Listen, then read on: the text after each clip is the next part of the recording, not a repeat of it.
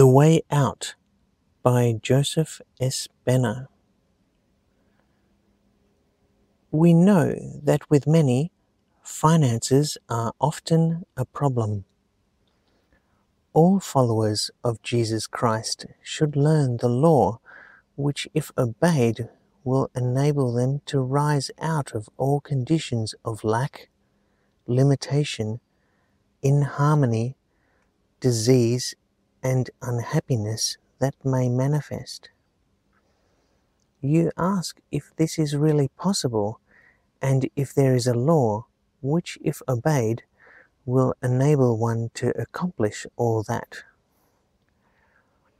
We say emphatically there is such a law, and that you can be free from the fear and dominance of money that you can have an abundance of all good things, that you can be well and happy, and can bring about an adjustment into perfect harmony of all departments of your life. If you want these things enough to train yourself to obey this law. You say that you would do anything to obtain such wonderful blessings, if it is humanly possible. It is not only possible, but everyone who is filled with such a desire can do it. For know a great truth that you are permitted to be in such unhappy conditions by your higher self, solely in order that you may seek and gain the knowledge the power and the ability to control them in order to free yourself forever from them and to assume your true place in life, and therein receive the heritage of good that is here for you, whenever you become wise and strong enough to claim it and to use it for the good of others and not for selfish ends. First know that it is all a matter of consciousness, and that you, yourself alone, are to blame for these conditions. For you alone created them and are firmly holding them in your consciousness, or they would not be so plainly manifesting. All this we are taught in those great words as a man thinketh in his heart, so is he. We know that you have heard this stated perhaps many times before, and so often that it may have become an old story. Some of you have tried to prove it and to rid your consciousness of all your negative thoughts but because it took determined and persistent effort, you soon grew tired on account of the strong opposition met with, and you then dropped back into the current of the old conditions, and if anything became more helpless than you were before. Others may have heard of this saying, but it did not impress them, for they could not accept the assertion that all of the inharmonies in their lives are the result of their own beliefs or of their past thinking crystallized into beliefs. They preferred to blame it all on someone else, and even God came in for a share of the blame. The main trouble with almost everyone is that they do not realize how many negative and destructive beliefs they are carrying around with them in the subconscious realms of mind and which creep through into the conscious mind whenever it is free from interest in other things. Until you can begin to study your mind and watch for and note these negative beliefs when they come, and you will find that they are actually beliefs and refuse them further support, there is not much hope for you. In fact, it is the first thing you must learn to do. Those who are too mentally lazy to do such watching and controlling of their thoughts are usually the ones who will not accept that their own thinking and beliefs create for them all of the conditions now manifesting in their lives. But it makes no difference whether you accept it as being true or not.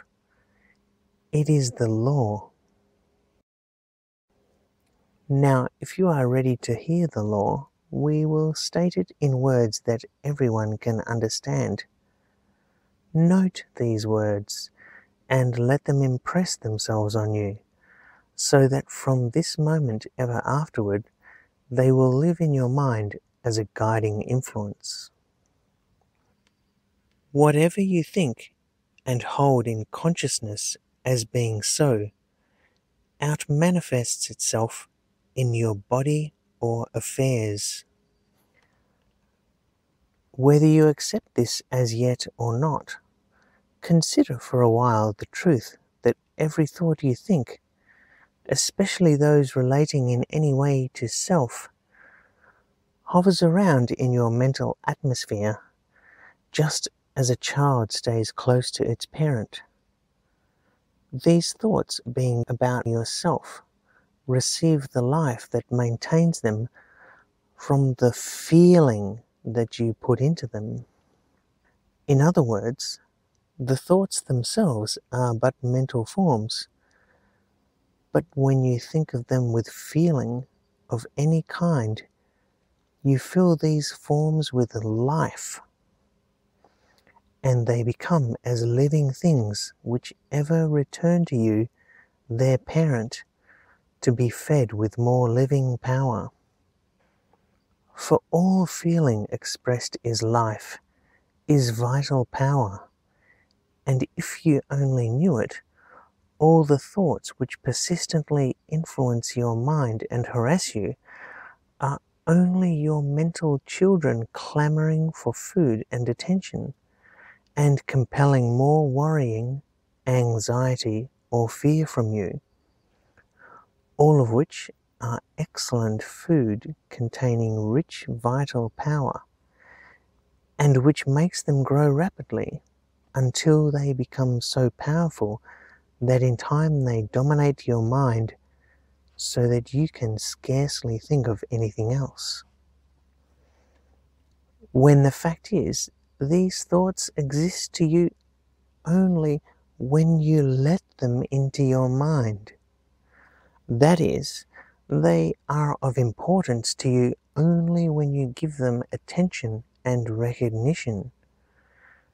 But on the other hand, their power over you and their life can quickly be nullified by simply knowing the law and refusing to feed them longer with life power by giving them further attention or interest and it should not be necessary to state that voicing such thoughts definitely and speedily out manifests them, for the spoken word is far more potent than the thought.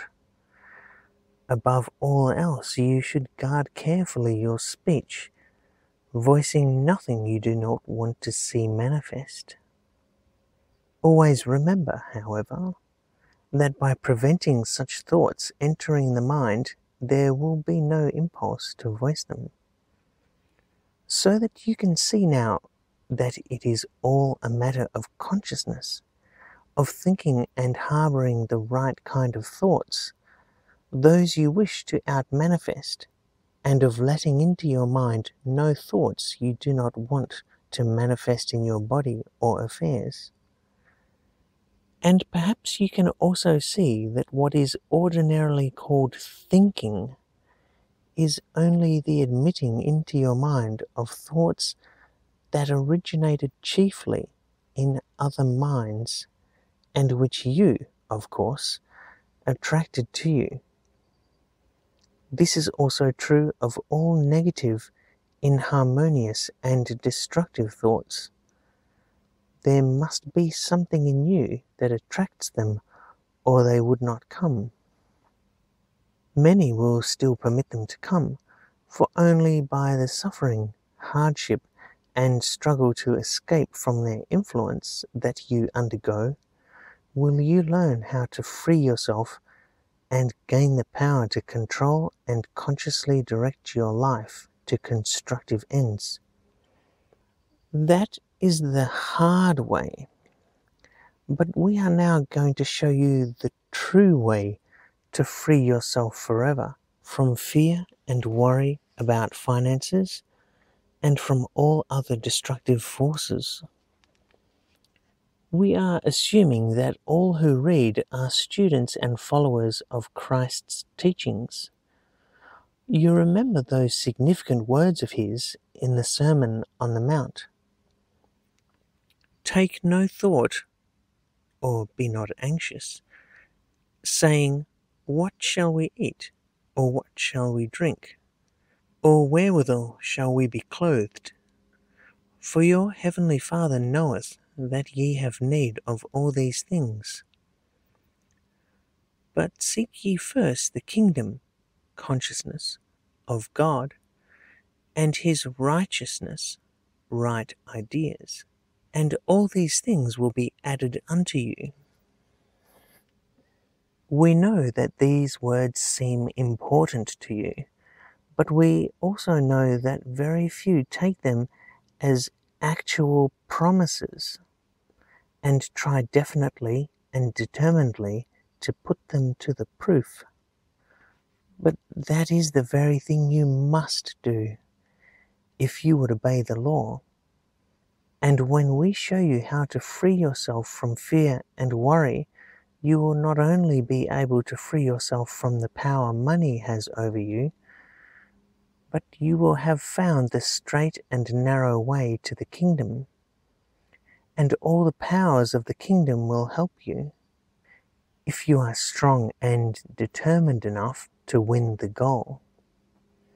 For the kingdom of God and his righteousness is only a state of consciousness where we do right thinking, where we think God's thoughts only. Can you do that? Surely you can. If you will, then this is the way you must train yourself to stand guard continually at the door of your mind and to let in no thoughts or feelings that you do not want to out manifest. Think this over carefully, and you will see that it is the only way. It may seem hard at first, and you may not know what to admit and what to deny. But guard the door from every negative thought and feeling of whatsoever nature, from every thought that you know God would not have you think, from every doubt, fear, worry, anxiety, or concern of any kind from every tendency to criticize, judge, or condemn anybody or anything or any condition, from self pity, jealousy, envy, irritation, unkindness, anger, hatred, etc. These will give you an idea of what are negative and ungodlike thoughts and which must no longer have a part in your consciousness. If you will keep all such untrue thoughts out of your mind, you can see that then, and then only, can your higher self draw into your mind the true and positive thoughts that will attract to you the good that is waiting to manifest itself to you. For while your mind is cluttered with all those fearful, worrying, discouraged, sick, weak, poverty tainted thoughts, how can you expect anyone who feels these vibrations, and vibrations are things you cannot cover up, to be attracted to you? Or how can you expect God to inspire you with thoughts of a beneficial nature? In fact, such negative thoughts actually keep away the things you are longing to have manifest in your life. For like attracts like. Think. Poverty stricken thoughts do not attract prosperity or jobs. Sick thoughts do not build a healthy consciousness. And belief that you are a failure invites failure.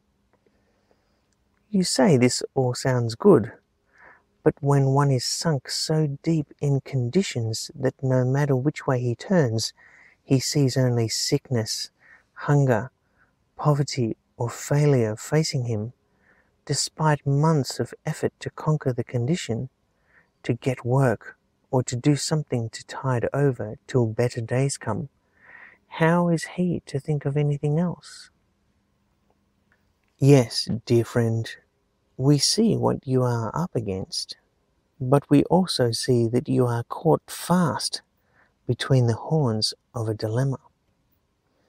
You have sought help from the world of men, and it has turned you down. You have exhausted all the forces of self, and you admit that you are completely helpless. And perhaps you have even prayed to God, and seemingly He has not heard, or He has not answered you. But where? Who is this God to whom you have prayed? Is He somewhere up in the skies, or in some hazy place you know not where? Have you prayed to the God within you? Have you turned there and opened your heart to Him deep within yourself in the kingdom where your higher self abides?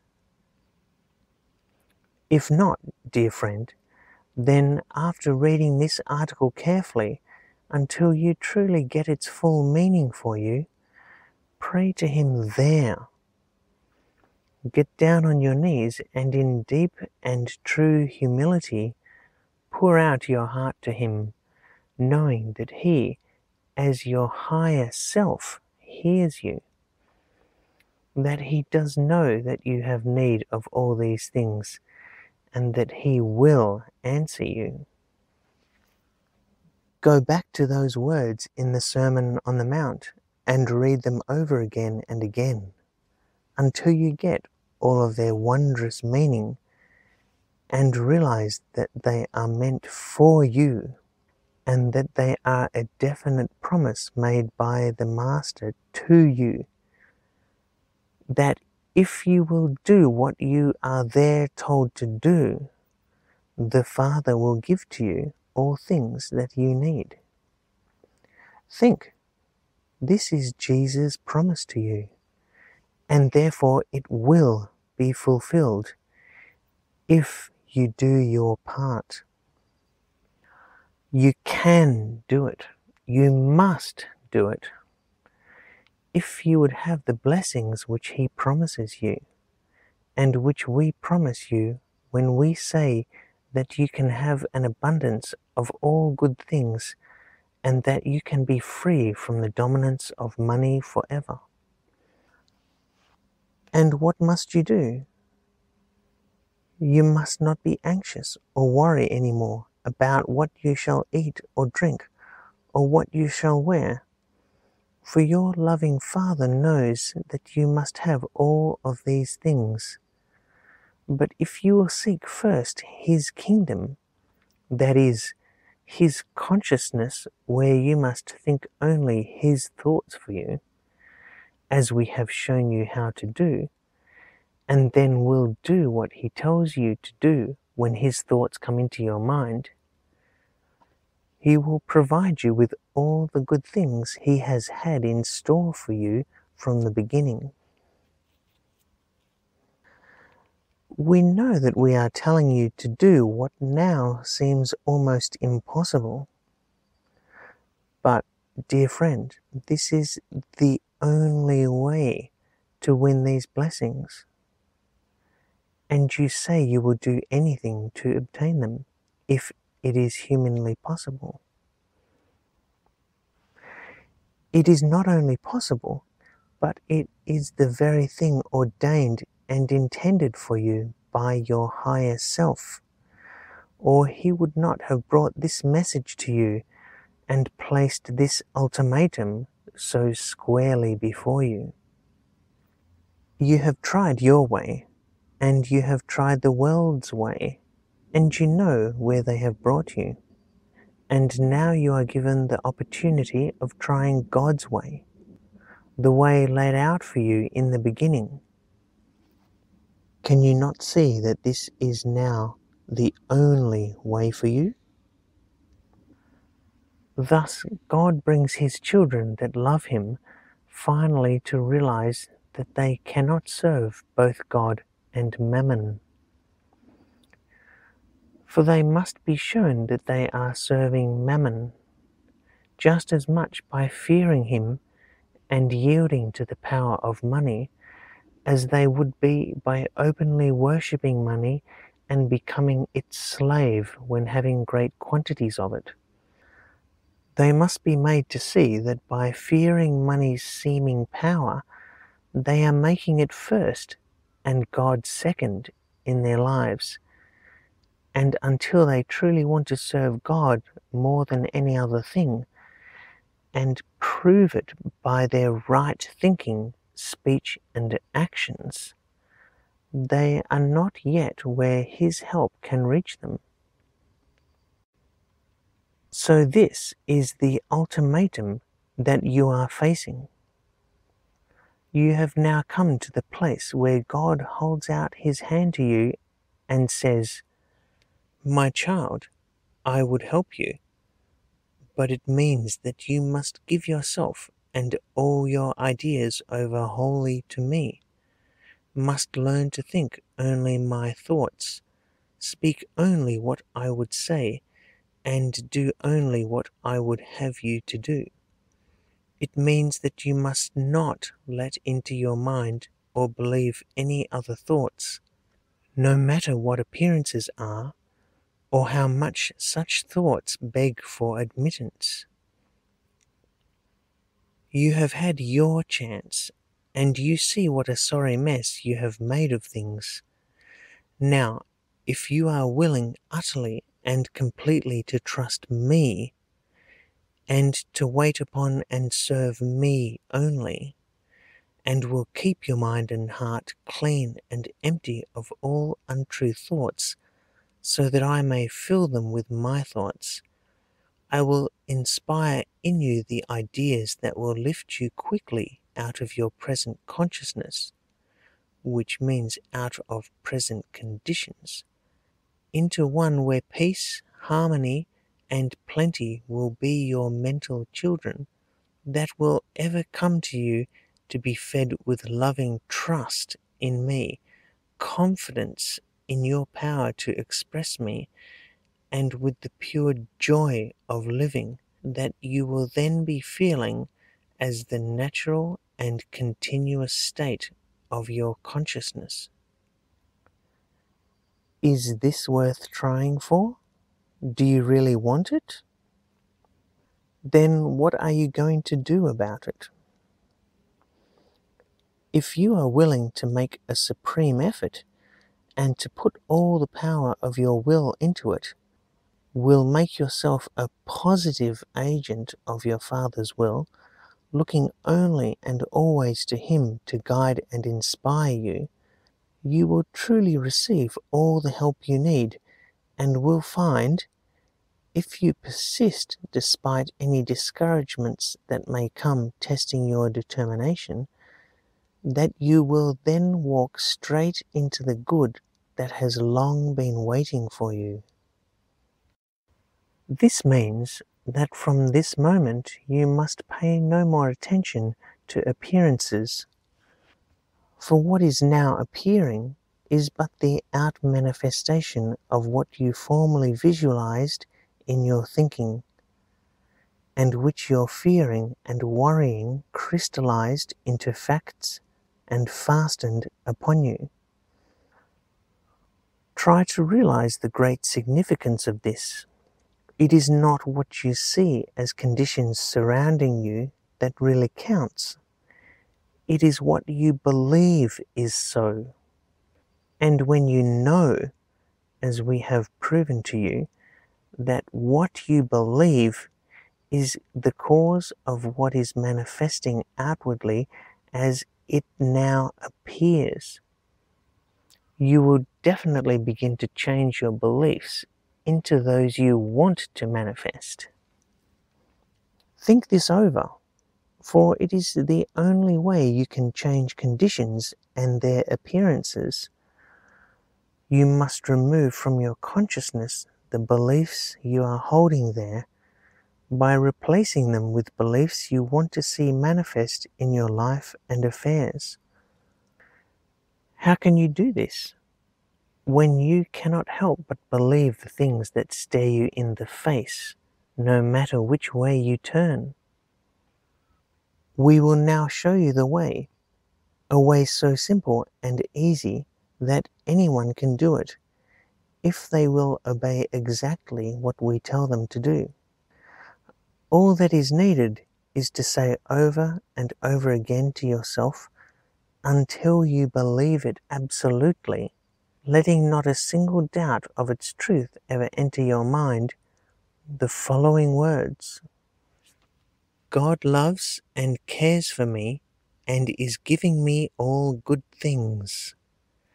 I love him and think his thoughts and do only the things he wants me to do. Try to realize the full truth of these words, to feel it, to see yourself actually living in the consciousness of it, going about your daily work in that consciousness. If you do this, it will bring the greatest possible blessings into your life. The first statement should not be hard to believe for you surely know that he loves and cares for you. For whether you know it yet or not, everything that has come into your life has been good for you. For through these things he has brought you to the place where you should be willing to look to and trust him only, so that his love and care can give you all the good things he has had for you from the beginning. And it should be easy to love Him. And through consciously loving and trying to think His thoughts, you can see that it opens your mind so that His thoughts come into it and can thus direct you just what to do that will bring success, prosperity, health, harmony, and happiness into your life. Dear friends, we wish that we could reveal the truth of the above wonderful statements so clearly to you that they will live with you and will motivate your every thought, word, and act forever afterward. They are so mighty in their truth that if lived, they will make you more than man. So do not pass them by because they seem so simple and commonplace.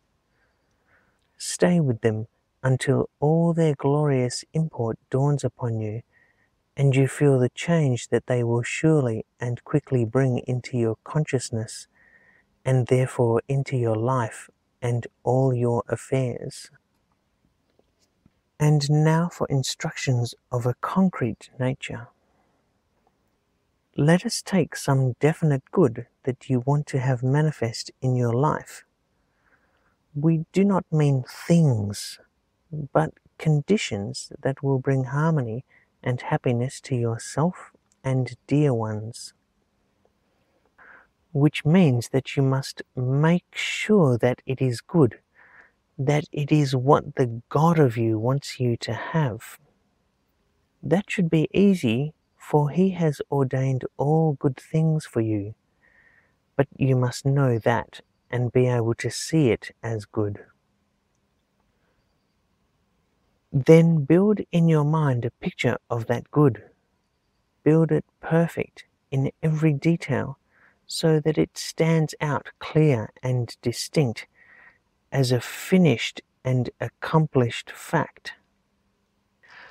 According to how complete and distinct is this picture in your mind, is it actually finished on the mental plane, the plane of concrete mental forms, which determines its physical appearance, and is it ready to come forth into manifestation?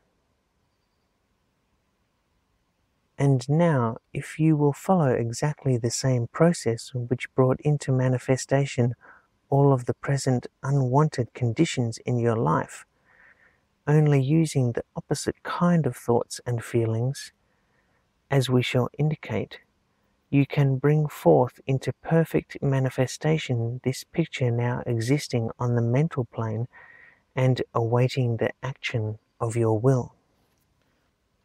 We will take as an illustration a friend who recently lost her position.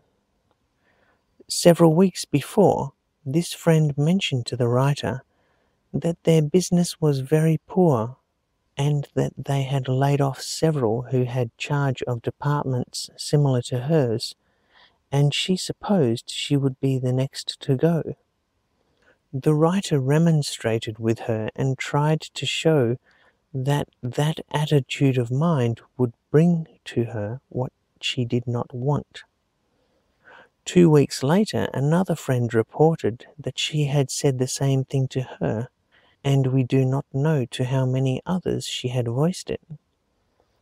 But a few days afterward, as she had pictured it, the notice of her dismissal came.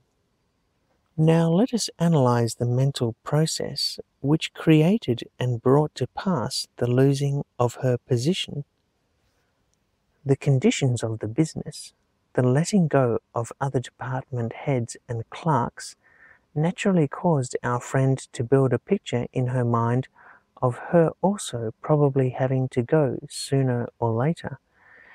And through the fear of it, she actually saw herself leaving Day after day, the conditions in the office, her talks with fellow employees, and with others in other businesses in similar bad straits, and with those who had lost their jobs, increased and intensified her fear and helped her to build in the details of her picture until she had it all finished and perfect.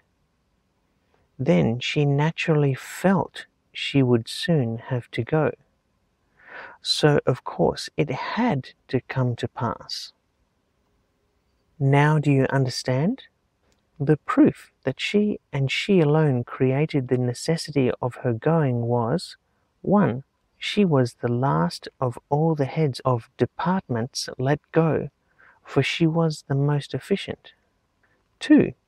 She began criticizing her employers and their actions. Three, she learned afterward that they did not want to lose her and they might give her back her position, having hired two young men to replace the other women let go. But she had created on the mental plane the finished thought form of being dismissed and had vitalized it with her fears and other feelings. And as a result, that thought form had to out manifest. And so it forced itself into the minds of her employers and impelled them to do what they otherwise would not have done.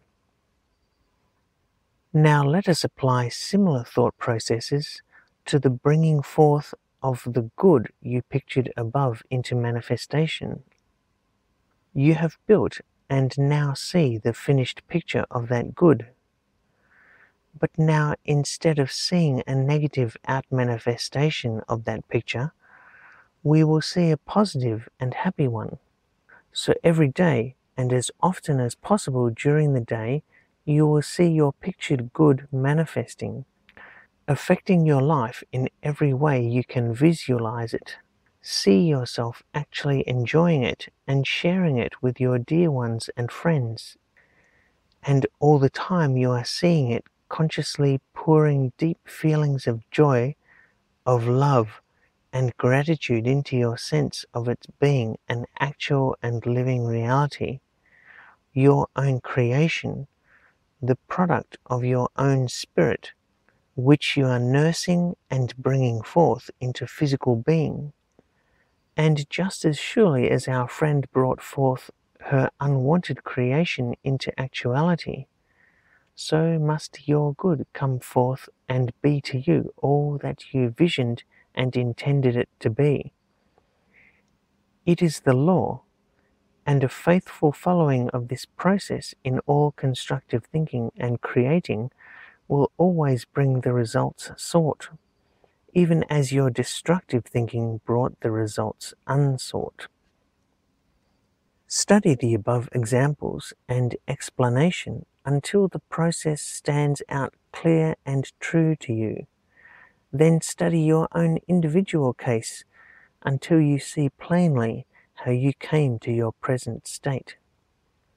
Then begin to reverse your thought processes as shown above until you express along constructive lines only.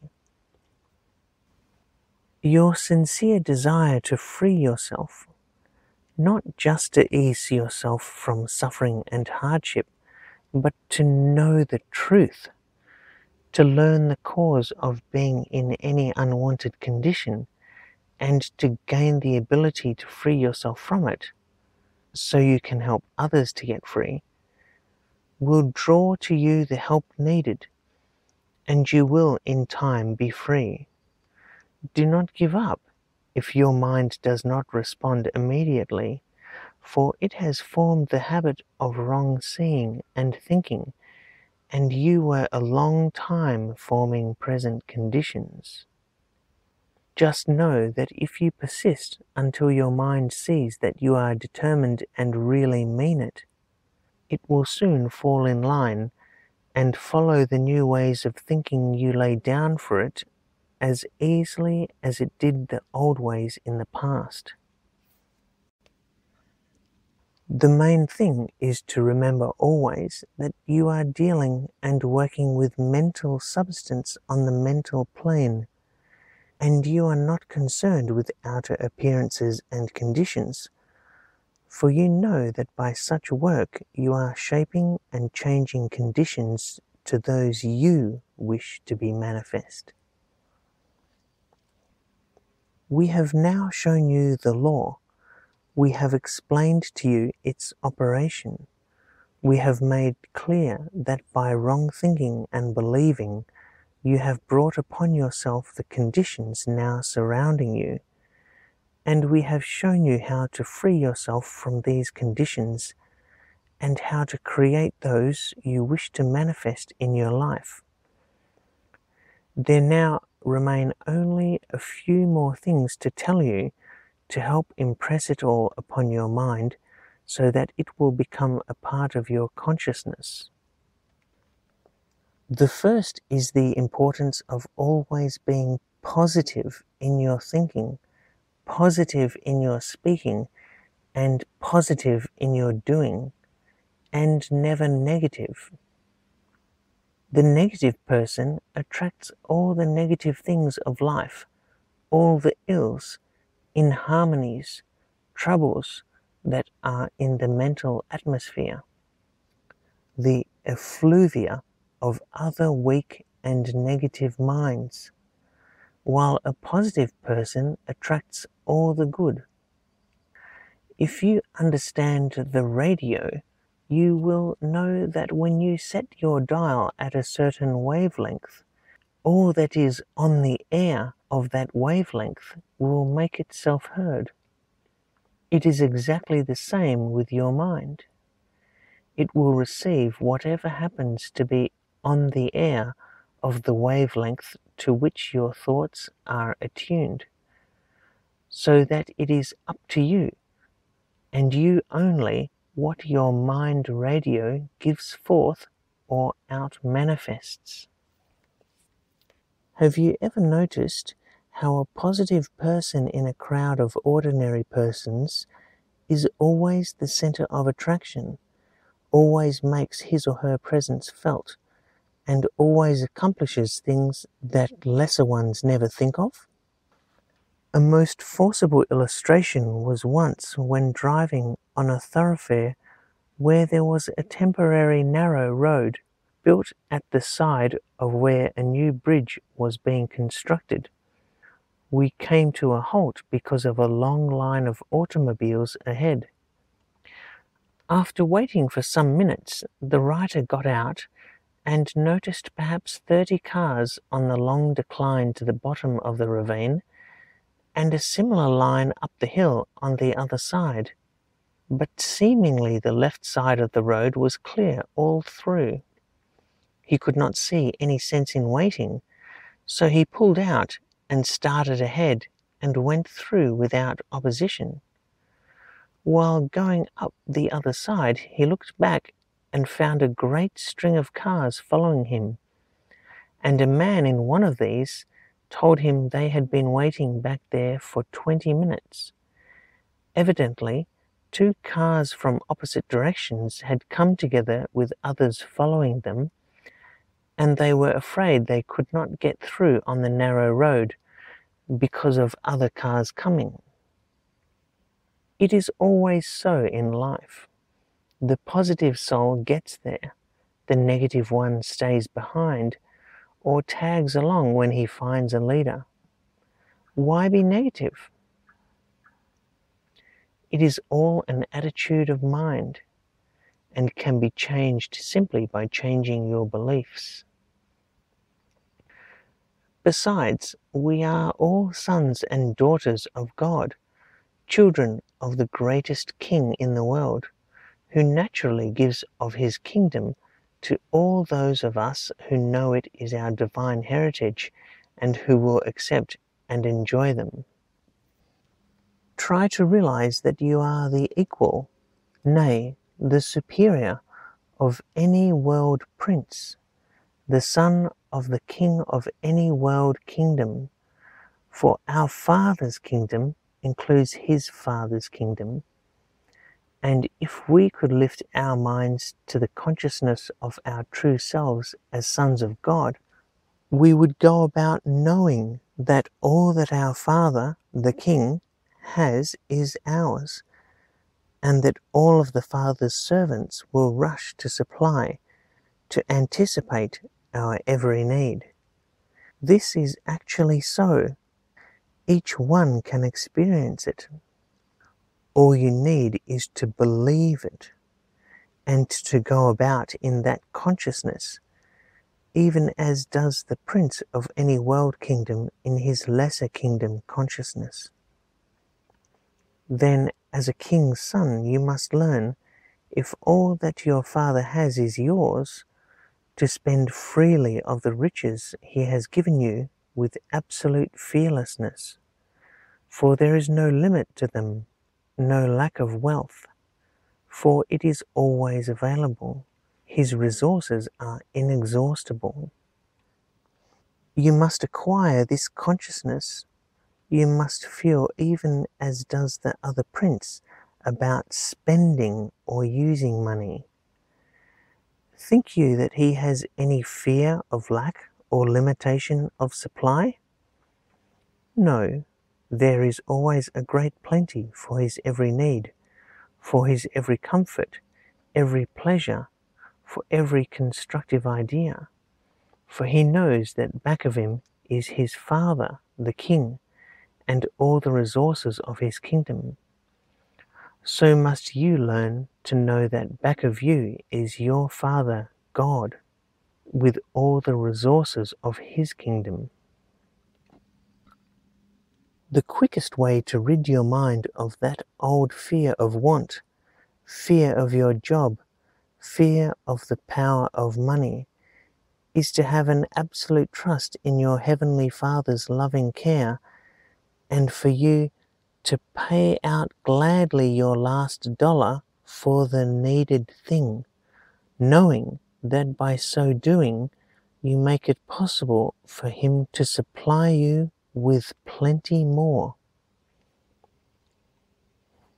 It is as if your needs must keep the stream of money ever flowing, if you would not clog up its source.